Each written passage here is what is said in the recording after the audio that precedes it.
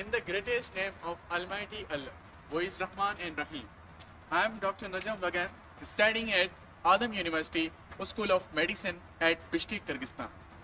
Today, I am going to tell you something about the seizures, epilepsy, and their first aid. Having a seizure could be terrifying experience to any kind of patient or any kind of person. If you have a seizure, there was a problem with uncontrollable, uncoordinated electrical activity in your brain. In general, we can say that the seizures can occur when too many of your brain cells become excited at the same time. And there are two main types of seizures which are found in a human body. Number one is the generalized type of the seizure and number two is the partial type of seizure. In generalized type of seizure, the abnormal electrical activity is occurring on both sides of the brain while in a partial type of seizure, the abnormal electrical activity is occurring only on one side of your brain.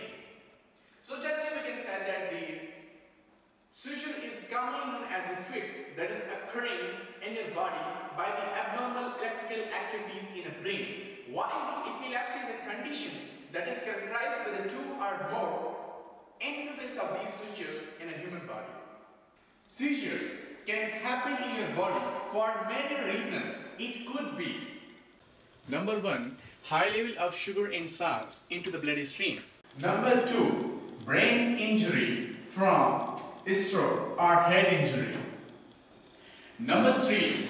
Illegal drug use or withdrawal from alcohol.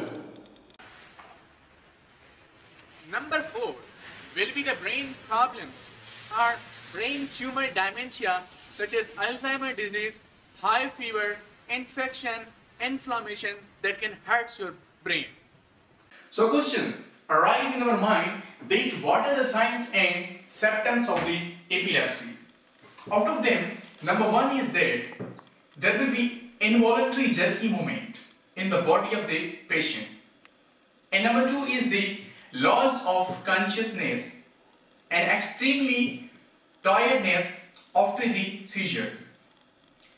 And third one is the involuntary urination. And fourth one will be the tongue biting. And fifth one will be the frothing through the mouth. Important thing is they don't be panic. And number two point is that make a space around the patient. And number three point is that remove any sharp thing if patient possesses in his surrounding. And number three point is that note the time, how long this seizure is going on, stopwatch open. Okay.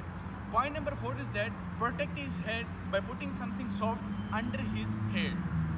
So I want to go put my uh, soft thing in, in, under his head. Okay. Once the seizure has been stopped, what we have to do?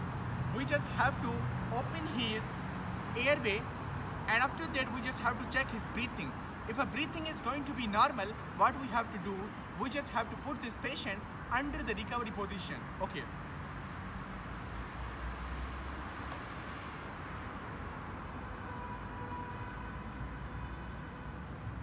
Okay. If seizure will not be stopped, what we have to do, we just have to call the medical helpline in order to protect this person.